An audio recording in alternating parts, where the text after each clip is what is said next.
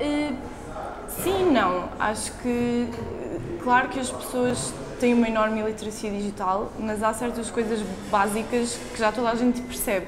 Já toda a gente percebe que há um perfil no Facebook feito por ti, que o Facebook dá-te os anúncios que são direcionados àquilo que tu viste, um, que o Spotify te dá músicas relacionadas com aquilo que ouviste. Portanto, aí é mesmo, eu acho que é mesmo preguiça. Ou seja, é mesmo.